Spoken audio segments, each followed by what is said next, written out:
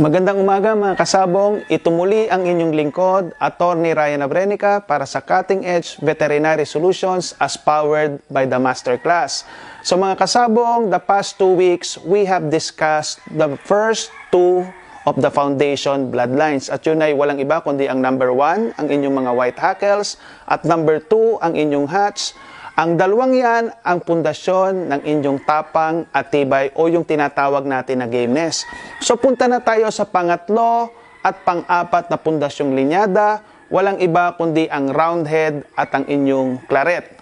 Yung pangatlo at pang-apat na pundasyong linyada, yan naman ang magiging pundasyon ng tinatawag natin na cutting at fighting ability.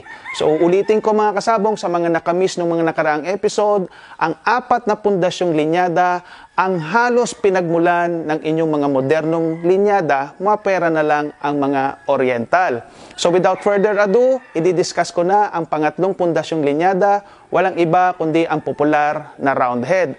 So saan ba nanggaling ang mga round head, no? So alam naman natin na ang mga round head ay nagsimula sa Boston Harbor, no? May dumating daw na mga manok sa Boston Harbor, walang nag-claim at nung binuksan ang uh, package na yan, may mga manok doon, bilog ang ulo, maigsi ang tuka, mukhang oriental, at tinawag nilang mga round head kasi nga bilog ang ulo.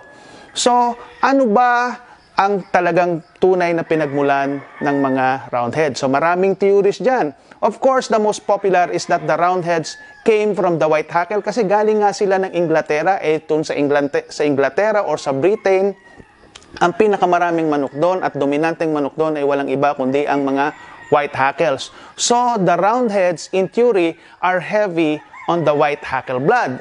Second theory is that the roundheads has a dash of the oriental fowl kasi at the height of at the height of its power, ang British Empire ay nakikipagkalakalan dito sa Asia at di malayo na nakapagpasok sila ng mga oriental o asil na manok sa England at yun ang dumating sa Boston Harbor bilang tinatawag natin na roundhead. Eh, hindi naman ganun kahalaga mga kasabong kung saan talaga sila nagsimula. Ang mahalaga ay ang kanilang katangian na maibibigay sa inyong breeding. At ano nga ba ang mga katangian na maibibigay ng roundhead? Of course, the roundheads are called the ring generals. No? Pag sinasabing ring general, ibig sabihin ginagamit niya yung gradas, aatras, sa sidestep, sa salto. Kung naging boksingero yan, pupusta ako, si Floyd Mayweather ang inyong mga roundhead at meron silang angking cutting ability. Pagka pinag-usapan natin cutting ability and accuracy, isa ang roundhead na dapat nyong ikonsidera bilang inyong mga manok. At pag roundhead naman din, ang inyong hahanapin napakarami niyan. Of course, we have the highly popular Boston Roundheads, the Allen Roundhead, the Cowan Roundhead, the Jarrett Roundheads, and your Lazy Roundheads, among others. So marami yan. Marami kayong pagpipilian sa mga roundhead. Siguraduhin nyo lang mga kasabong na pag pumili kayo ng inyong roundhead ay yung medyo matapang na kasi may mga roundheads na hindi kilala sa kanilang katapangan. So just be careful with the selection of your roundheads.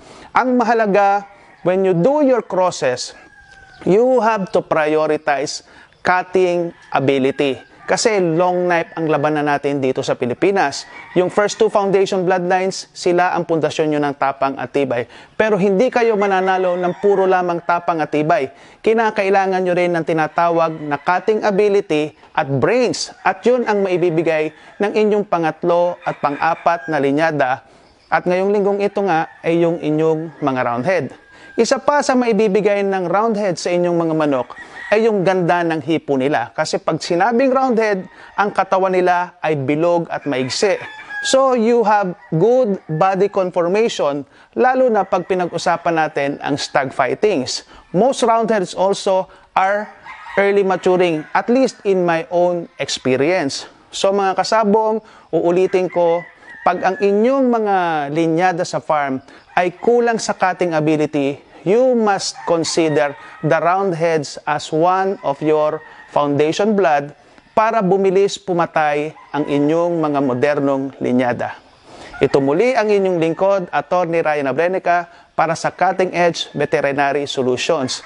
Next week, i-discuss ko ang pang-apat at panghuling pundasyong linyada, which is the claret. Maraming salamat. Cutting Edge number one.